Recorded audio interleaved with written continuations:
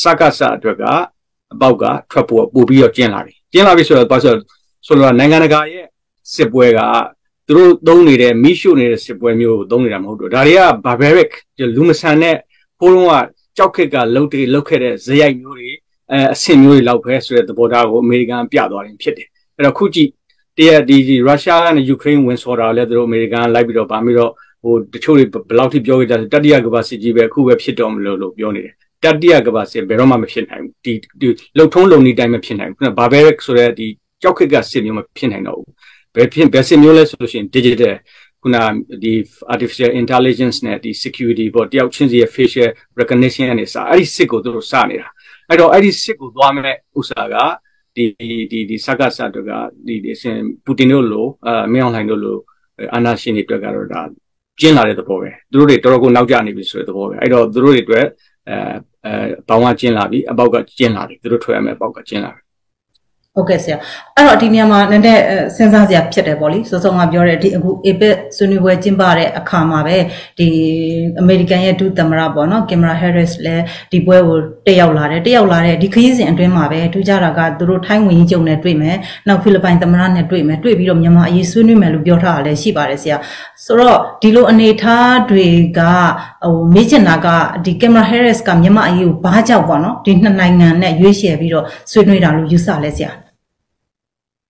ဒီထိုင်းနဲ့ပတ်သက်လို့တော့ဘာလဲဆိုလို့ရှိရင်အခုအမေရိကန်နိုင်ငံမှာအမေရိကန်နိုင်ငံရဲ့ဒီနိုင်ငံရေးဆိုင်ရာကုန်သွယ်ရေးစီးပွားရေး USAID ကိုကူညီပေးရေးဆိုင်ရာယုံတွေအကုန်လုံးဘန်ကောက်မှာပဲသူတို့အာရွေ့ရွေ့ထားတယ်ပြောတယ်ပြီးတော့မှရန်ကုန်မှာလုပ်လို့မရတဲ့ခါကျတော့ဟုတ်တယ်မလားအဲ့တော့ဒါတစ်ချက်သူတို့ operation ပေါ့လေဒီလုံနိုင်ပွဲအတွက်အမခံချက် security ဘိုင်းဆိုင်ရာဒါတိကျတဲ့ကင်မလာဟဲရစ်ကိုရန်တို့ဇပွဲပေါ်တင်ပြီးပြောမှာမဟုတ်ဘူးသူ့ရဲ့ဒုတိယတန်းစားနဲ့တတိယတန်းစားကောင်းဆောင်တဲ့ဒီလုပ်ကိုလုပ်နေတာကြာပြီ အဲဒီလိုဆိုတော့ထိုင်းနိုင်ငံမှာသူတို့နေထိုင်ခွင့်နောက်တစ်ခုကဒီထိုင်းနိုင်ငံမှာရှိနေတဲ့မြန်မာနိုင်ငံထွက်ပြေးလာခဲ့ရတဲ့ဒီ journalist တွေရှိတယ်ဟလာဒုက္ခတွေရှိတယ်နောက်ပြီးလို့ရှိရင်ဒီဒီ democracy activist တွေရှိတယ် scholar တွေလည်းရှိတယ် scholar at risk တွေလည်းရှိတယ်အဲ့တော့အမျိုးစုံပဲမြန်မာနိုင်ငံနောက်ပြီးတော့ဒီတောသူတောင်သားတွေထွက်ပြေးပြီးတော့နေဆက်မှနေနေရတဲ့မိခိုနေရတဲ့လူတွေရှိတယ်အဲ့တော့ USA ကိုသူတို့ mission နေနဲ့တောင်းထားတာက humanitarian aid เนาะ နောက်တစ်ခုကအခုဒီအဲကျွန်တော်တို့ FATF နဲ့ပတ်သက်ဆွေးနွေးခဲ့တဲ့အချက်မှာလဲ humanitarian aid တန်နဲ့ဒီဒီလူသားချင်းစာနာတဲ့ထောက်ထားမှုတွေနဲ့ပတ်သက်ပြီးတော့ကူညီမှုတွေနဲ့ပတ်သက်ပြီးတော့ဆက်လက်ပြီးတော့ရွေ့နေရမယ်ဆိုတော့ဒီဥစ္စာတွေဒီလမ်းကြောင်းတွေကိုရှင်းဖို့ရအတွက်ခုနကဒုတိယနဲ့တတိယတန်းခေါင်းဆောင်တွေကခေါင်းကိုက်ပြီးတော့ဒါလုပ်နေရတာရှိလိမ့်မယ်အဲ့တော့အဲ့ဒီကိစ္စတွေကိုရှင်းဖို့ရဖြစ်လိမ့်မယ်ဒါကထိုင်းထိုင်းနဲ့ပတ်သက်တဲ့ဥစ္စာနောက်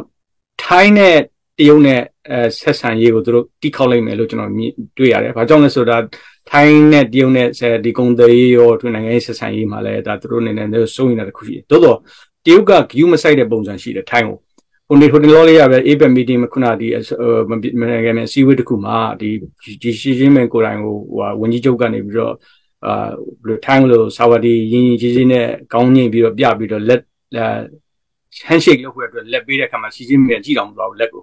ဆိုလိုတာကအဲ့လိုမျိုးဟို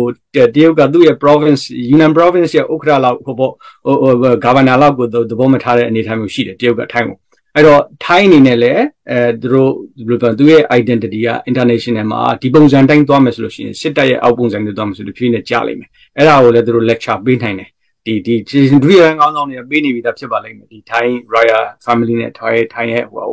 ဥစ္စာတွေဆိုတော့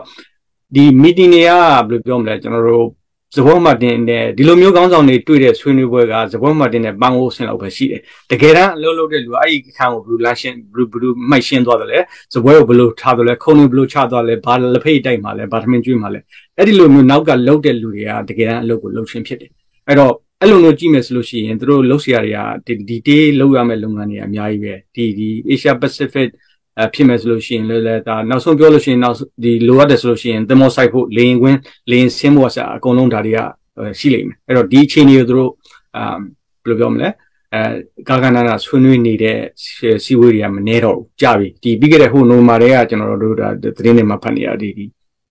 defense and သတင်းတွေမှာဖတ်နေရတယ်ဒီနိုမာဆိုနိုဝ20 2021ရုရှားရောက်ကြတဲ့ဒီဆိုအဲ့တော့ဒီ2020နှစ်မကုန်ခင်မှာသုံးရမယ့် NDA မှာလဲ9.3 အာ7.7 billion US ကချထားတယ်ဆိုတော့တရုတ်နဲ့ပတ်သက်လို့ချထားဆိုတော့ဒါတွေကဒီဟာတွေသုံးနေတဲ့သဘောပါပဲအဲ့တော့အကုန်လုံးခြုံကျဲဘာကြောင့်တွေးတယ်လဲဆိုတော့ geopolitics ပါပဲဒီကတော့အဲ့ခုနမြန်မာနဲ့ပတ်သက်လို့တော့ခုနဒီဒုက္ခတွေကိုဘယ်လိုပြောမလဲပြန်တွန်းမပို့ဖို့ရယ်ခုနလုံခြုံရေးဆိုင်ရာမဲဆောက်တို့ဘာလို့မှရှိနေတဲ့လူတွေအားလုံးကိုလုံခြုံရေးဆိုင်ရာကိုအာမခံဖို့ရယ်အဲ့တော့ထိုင်းနေကိုထိုင်းကိုဒါတွန်းမှာပဲဖြစ်ပါတယ်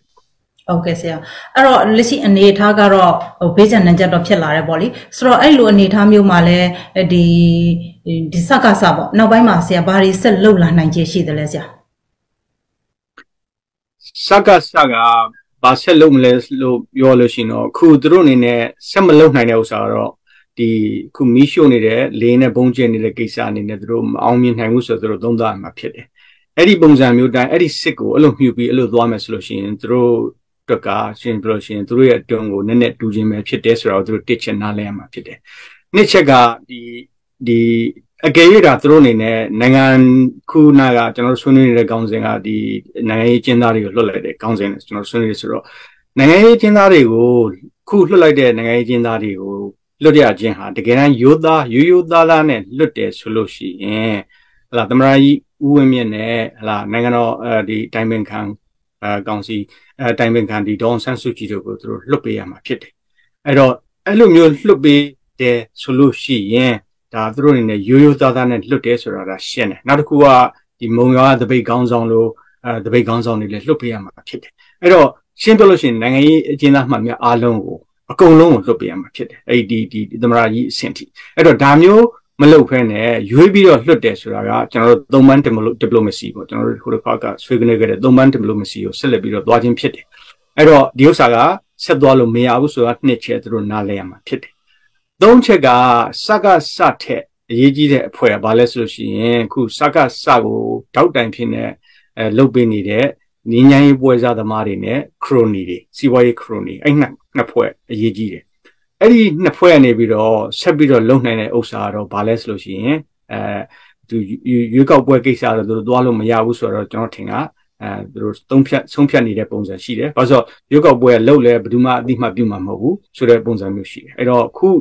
ဒီဟာလေးလှုပ်ပေးလိုက်ပြီးတော့တဖြည်းဖြည်းနဲ့သူတို့ဘက်ကရော် short short ပွေအခြေအနေမျိုးရှိနိုင်တယ်။အဲ့လို short short ဆိုတော့နိုင်ငံတကာရဲ့ဘယ်လိုပြောမလဲအမြင်မှာ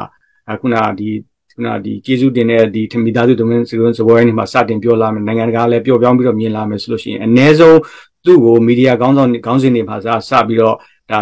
ကောင်စီတစ်ခုလိုမျိုးရေးမယ်ဆိုလို့ရှိရင်စစ်ကောင်စီတစ်ခုအနေနဲ့ အာအသိမှတ်ပြုပြီးရေးမဲ့အဆင့်လောက်ကိုသူတို့တွန်းနေတွန်းရတွန်းနေရတဲ့အခြေအနေနေထားမျိုးရှိတယ်။ဘာလို့ဆိုသူတို့ကစစ်ကောင်စီအဆင့်တောင်မှကျွန်တော်တို့သတင်းနောက်တွေကရေးရမှာနည်းနည်းလက်တွန်းနေတယ်။အဆင့်မရှိဘူးကိုပြောလို့ရှိရင်အဲ့တော့အဲ့လောက်အဆင့်မရှိတဲ့လူမဆန်တဲ့ဒီကောင်စီကိုဘယ်လိုလုပ်ပြီးတော့ကျွန်တော်ကျွန်တော်တို့ဒီပြန်ပြီးတော့အသက်သွင်းရမလဲဆိုတော့သူတို့စဉ်းစားနေတဲ့ပုံစံရှိတယ်။ဒီခြေလှမ်းလောက်ကိုပဲသူတို့ဆက်ပြီးတော့လှမ်းလို့ရမယ်။ကျန်တဲ့အိမ်မက်အကြီးမားကြီးတွေမဲ့လို့မရတော့ဘူး။သူတို့ဆက်လျှောက်ဖွေရအတွက် ဒါကြီးအသက်ဆက်ရှိရှိဖို့ရတဲ့ဒီစကားဆက်အသက်ဆက်ရှိဖို့တဲ့ချင်းပြောလို့ရှိရင်မြန်မာတက်မတော်ဆက်လက်ပြီးတော့မြန်မာနိုင်ငံရဲ့သမိုင်းနဲ့ရှေ့ဆက်မဲ့ရှေ့ဖြစ်မဲ့သမိုင်းနဲ့ဟလာရှေ့ဖြစ်မဲ့ခီးအတွက်ကိုမြန်မာတက်မတော်ကိုယ်တိုင်ကဘယ်လိုပြောမလဲပြည်သူလူထုကသူ့ကိုယွန်းစရာတစ်ခုတွေနဲ့သတ်မှတ်ထားပြီးတော့ဖြစ်တယ်အဲ့တော့အဆင့်မရှိတော့သိခါရရောနိုင်ငံရေးရရောလက်တွေ့စီးပွားရေးမူဝါဒတွေသူလုပ်နေတာတွေအရရောနောက်တစ်ခုကယဉ်ကျေးမှုရရောသိခါမရှိတော့အဲ့တော့အဲ့ဒီအနေထားမျိုးတွေကိုအဲ့လာကြီးကို အဖတ်ဆဲဖို့ရသူတို့အိမ်မက်မဲ့လို့မရတော့သူတို့လမ်းကအဲ့လောက်လောက်ပဲရှိပါတယ်စက